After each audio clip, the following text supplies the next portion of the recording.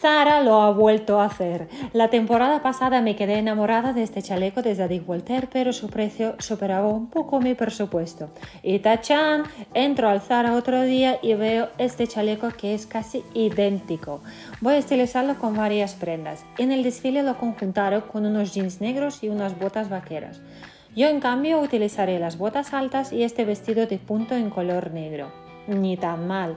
Aquí veo que lo estilizaron con Total Denim. Yo en cambio voy a probar conjuntarlo con esta falda de denim de Zara y este top básico. A los que no convencen el top pueden probar con una camiseta básica. Me encanta el resultado.